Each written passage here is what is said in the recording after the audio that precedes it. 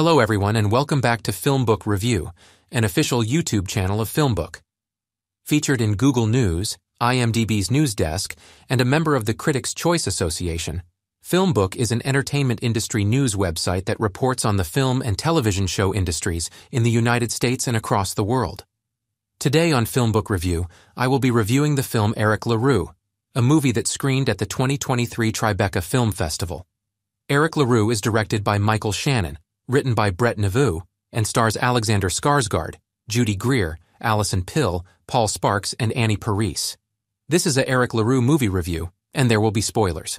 If you like our movie reviews, please like this Eric LaRue film review, as that helps us out with YouTube's algorithm, and consider subscribing. Once subscribed, click the bell notification box and you are all set. Please also consider becoming one of our patrons on Patreon at patreon.com forward slash filmbook. And now, the Eric LaRue movie review.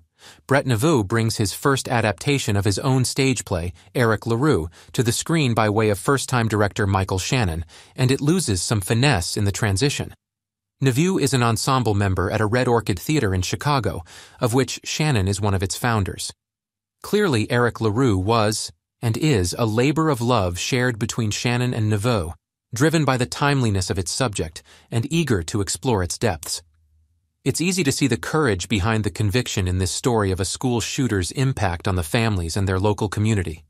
The setup is remarkably effective, establishing the mood right away. The dark pall of tragedy hovers over every action and reaction as a brooding woman, Janice LaRue, Judy Greer, goes soberly about her business, rebuffing, and rather rudely at that, anyone attempting support or solicitude.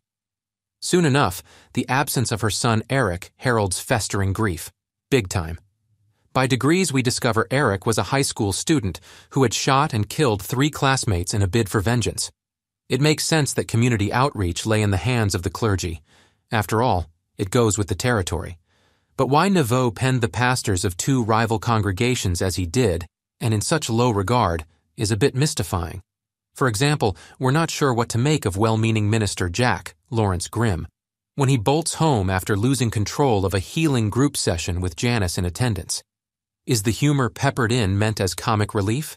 On the other hand, Daddy LaRue's paternal pastor, despite his rank chauvinistic ideology, is warm, caring, and convincingly charismatic at the pulpit. In fact, stage-bound as all the characters are, the performances are striking, all around. Major kudos to Shannon's directing skills. When it comes to acting, here he gets as good as he gives. Miss Greer's sadness is spot on. Alexander Skarsgård is the strapping but gentle hubby in true evangelical tradition. Alison Pill is remarkable in her turn as the chipper blonde in LaRue's congregation, who can't seem to keep her hands off him.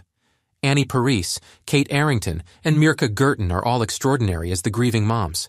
The heavy-handed, declamatory dialogue in Eric LaRue, no doubt to good effect on stage, consists of long stretches of cold-shouldered silence, alternating with abrupt, sniping confrontations, put-downs, and rude interruptions, emphasizing the character's inability to make meaningful progress through the miasma of grief and resentment.